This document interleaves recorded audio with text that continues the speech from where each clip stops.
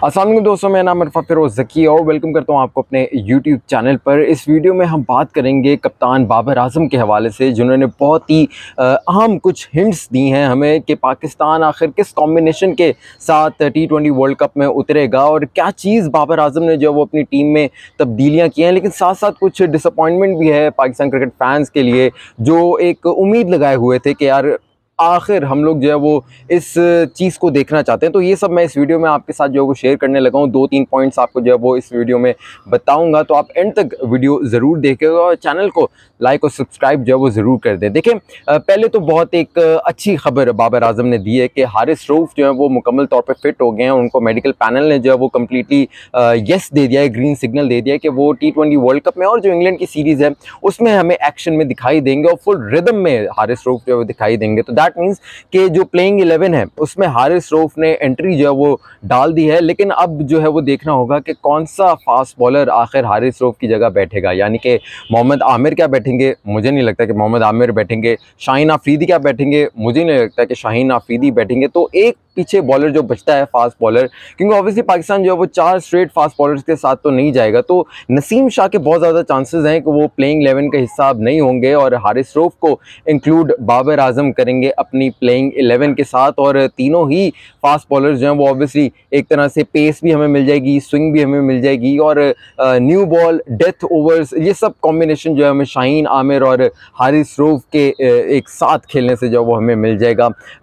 एक चीज़ बहुत ही बाबर आज़म ने थोड़ी सी एक्सप्लेन किया और that is the style of cricket of Pakistan उन्होंने भी और इमाद वसीम दोनों ने एक बात की है कि पाकिस्तान ने जो है वो आयरलैंड के ख़िलाफ़ जो सीरीज़ अभी जो सीरीज़ में एक जो पहला टी ट्वेंटी हारा था, उससे एक सबक सीखा है और उन्होंने अपनी जो गेम प्ले है, यानी कि बैटिंग स्टाइल जो है, उसको तब्दील करने की जो वो कोशिश की है। और ये चीज़ उन्होंने कहा कि आप इंग्लैंड के ख़िलाफ़ जो सीरीज़ है, उसमें टी ट्वेंटी वर्ल्ड कप में जो है ज़रूर देखिएगा, क्योंकि ये एक चीज़ जो प्लेइंग स्टाइल होगा, वो थोड़ा सा जो है वो डिफरेंट होगा। पाकिस्तान क्रिकेट टीम एक डिफरेंट अप्रोच के साथ खेलेगी। अब देखना होगा कि क्या, किस अप्रोच के साथ खेलेगी, क्योंकि बाबर आज़म ने एट द सेम टाइम ये भी कहा कि लोग जो हमसे चाहते हैं कि हम लोग चौके छक्के मारें, लेकिन ऐसा पॉसिबल नहीं है। सिचुएशन के हिसाब से ही खेलना होगा।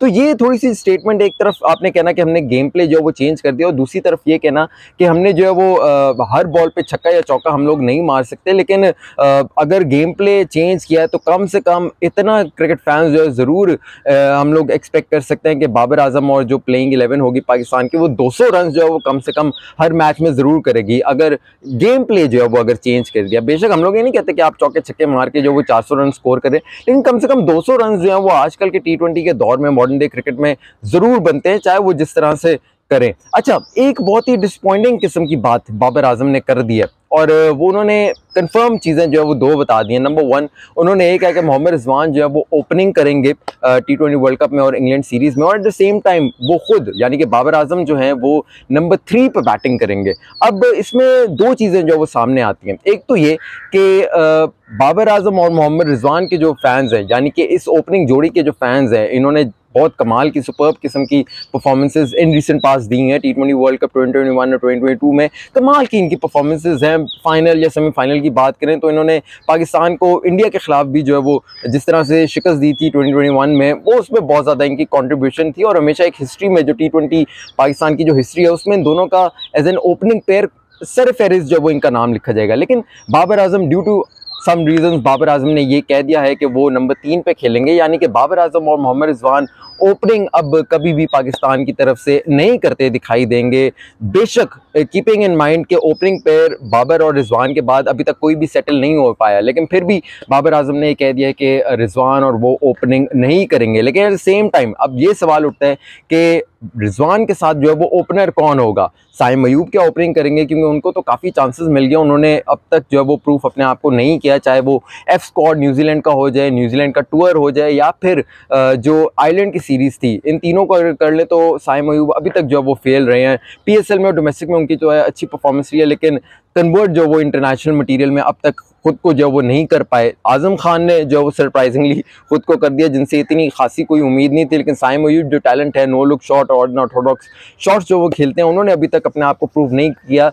क्या उनको खिलाया जाएगा? या फिर जो यू को के में जो क्रिकेट है, उसको छोड़ कर आए हैं, उस्मान खान, क्या उनको खिलाया जाएगा? अब साइम मयूब रिजवान को देखें तो लेफ़्ट राइट कॉम्बिनेशन बनता है, उस्मान और रिजवान को देखें तो फिर राइट दोनों का जो कॉम्बिनेशन होगा और विकेट कीपर के भी एक एक्स्ट्रा जो है वो पाकिस्तान के पास, यानी कि तीन तीन विकेट कीपर जो है पाकिस्तान को मिल जाएँगे। अगर तो उस्मान खान ओपन करते हैं रिजवान के साथ, लेकिन चांसेस अब यही बन रहे हैं कि साइम अयूब को ही रिटेन किया जाएगा। लेकिन अगर साइम अयूब नहीं परफॉर्म कर पाते इंग्लैंड के खिलाफ तो फिर उस्मान खान जो है वो खेलेंगे पाकिस्तान के लिए T twenty world cup as an opener with Rizwan. तो ये इंग्लैंड की जो सीरीज़ है, ये लास्ट चांस होगा साइम अयूब के लिए, अपने आप को प्रूव करने के लिए। वरना फिर फ़र्स्ट जो प्रेफरेंस होगी वो उस्मान खान को टीम मैनेजमेंट जो है वो रख लेगी। तो ये कुछ बातें थी। आपके साथ मैंने शेयर की। अपनी फीडबैक से ज़रूर आगाह रखिएगा। फ़िरोज़की को इजाज़ दीजिए। अल्लाह हाफ़